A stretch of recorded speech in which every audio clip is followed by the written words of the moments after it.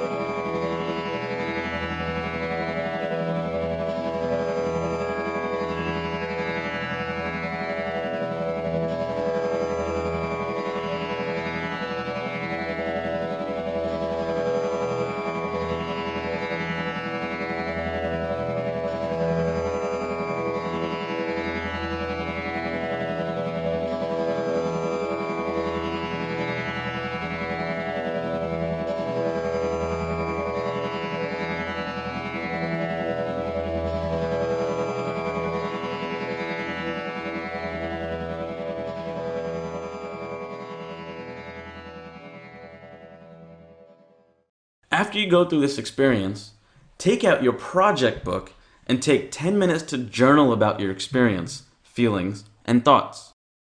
I also want you to take advantage of the access you've been given to control your subconscious mind. So write down five positive I am statements that counter your fear or the uncertainty within you, such as I am strong, I am smart, I am wealthy. Think about just five of those statements and write those things down. And say these statements to yourself every day while you listen to the music track.